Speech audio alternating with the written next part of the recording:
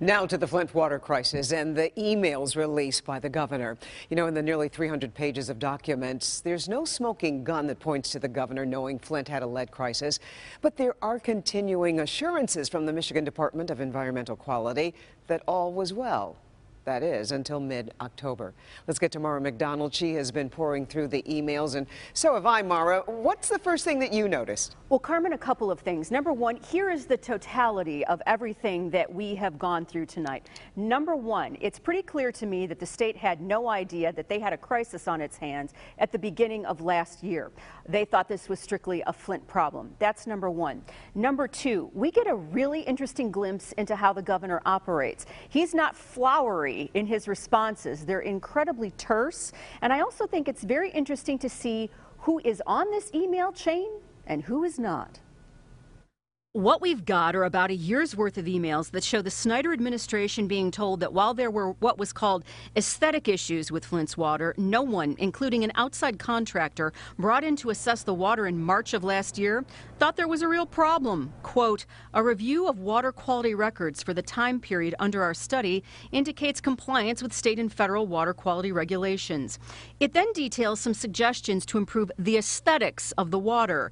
Meanwhile, the MDEQ is maintaining its protocols for water testing are right on. There is no mention to the governor or staff about an EPA water expert who has raised the alarm with the MDEQ.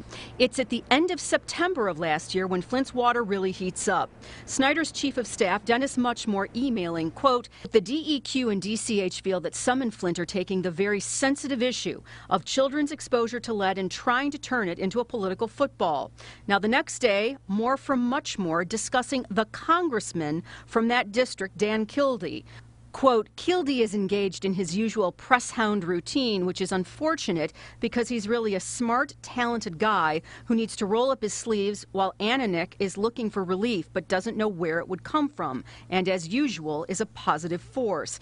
Ananich is Senate Minority Leader Jim Ananich, who is from Flint. At this point, MDEQ is still maintaining their testing protocol is correct and all is under control.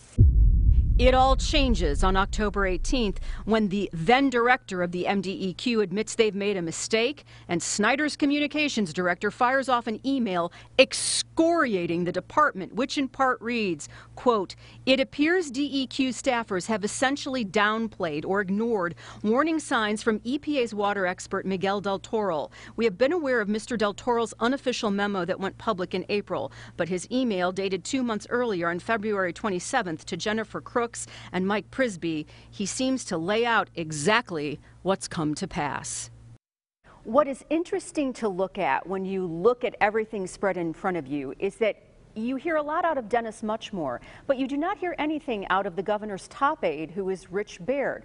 Why is there nothing from Baird to the governor about this, expressing anything? You know, outrage, upset, concern. That I find interesting. And I'm sure people want to know of all the stuff we got here, how much of it was truly redacted completely? Really, Carmen and Devin, only about two to three of the emails in the 274 that we had to go through. Back to you. All right, Myra. Meanwhile, Governor Snyder not only facing tough questions from the people of Flint and Michigan lawmakers, he was grilled by the national media tonight about not knowing about the current lead levels in Flint's water. I don't understand why you can't give us the latest testing data and what it shows for the water in Flint. What is the number? Um, I don't have the number at the top of my head of the very latest data. And it varies by parts of the city. I would think that the governor of Michigan would have those numbers at the top of his mind right now. Until they're in a range that is considered safe, um, I don't actually want to get into the issue of by zip code or by street what the particular sayings are. When asked what went wrong, the governor says the MDEQ, the Department of Environmental Quality, was too technical and didn't use common sense.